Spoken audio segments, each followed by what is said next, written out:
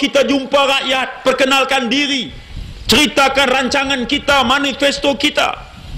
Kita telah pilih jalan pilihan raya. Kita serah kepada rakyat untuk pilih atau tolak kita. Mereka boleh halang kita. Jika sekiranya kita kata tolak cara peti undi kita pakat tebang buluh. Kita petajamkan buluh runcing kita dan kita pergi rumah ke rumah dengan kata Pak Cik lebih baik sokong kami. Kalau tidak kami rodok dengan buluh runcing. Yang itu polis kena sekat kami. Tapi kami telah nyatakan berulang kali kami pilih saluran pilihan raya.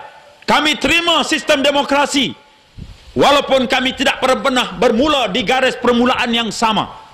Kamu kuasai keuangan kamu kuasai jentera pemerintah kamu kuasai agensi kerajaan. Kamu kuasai segala-galanya. Pada ketika kita tidak bermula di garis permulaan yang sama kami tetap juga menemui rakyat dengan tekun dan sabar. Dalam tempoh 8 hari tempoh yang paling pendek dalam kempen sejarah pilihan raya pun kamu masih boleh lagi kepung kami. Kamu sekat kami daripada berjumpa rakyat. Kamu halang kami mengemukakan kertas penamaan calon sebab itu pada malam ini kita tegaskan pendirian kita rasa benci kita yang teramat sangat terhadap kepala dan pentadbir pasukan polis ini. Imej kamu tercemar teruk. Kamu tak boleh lagi pakai uniform lah kalau kamu tak dapat menegakkan undang-undang. Pakai cawat lagi bagus. Malulah sikit Ini pengalaman sebenar kita. Kita buat aduan polis, boleh buatlah. Jangan kata tak buat, kita buat juga. Saya, Haji Muhammad Sabu, Haji Merudin, kami naik.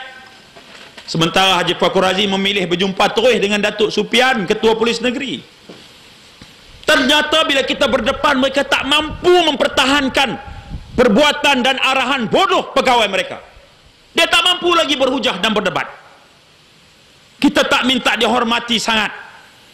Tetapi saudara saya teringat pengalaman kawan-kawan kita yang menjadi ahli parlimen muda parlimen Eropah. Ya. European Young Parliamentarians. Kawan-kawan yang kita kenal. Bila kita cerita layanan polis ke atas kita mereka terkejut. Mereka kata tempat kami Walaupun kami dari parti pembangkang, tapi kami sangat dihormati oleh polis.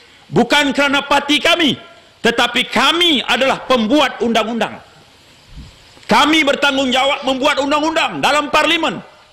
Sebab itu polis menghormati kami.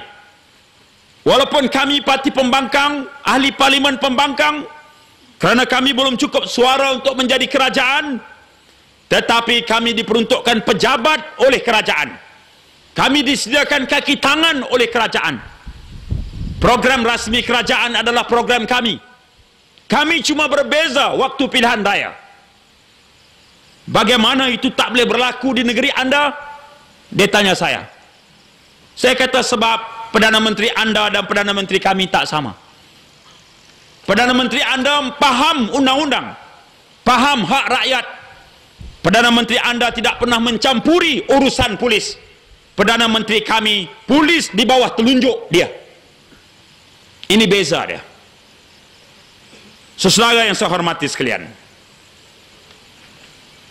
Sebut bab ni kena cengir lah. Dia tak boleh cakap cara lunak lah.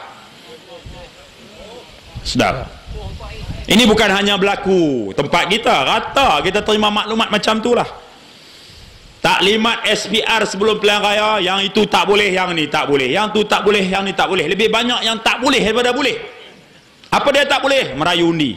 Apa tak boleh? Lencana parti apa tak boleh? Logo parti apa tak boleh? Pondok panai. Apa tak boleh? Pasang bendera. Apa tak boleh? Bawa komputer semak undi. Apa lagi tak boleh? Tak boleh tak boleh. Semua tak boleh.